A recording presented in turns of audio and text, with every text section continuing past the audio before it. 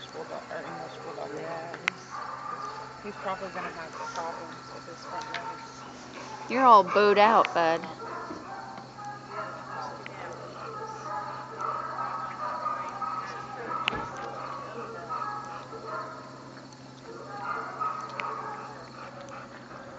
Kain.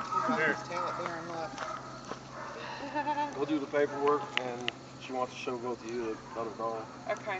All Wanna get pictures? She's gonna try to get it in the press. Okay, very good. Where are you going?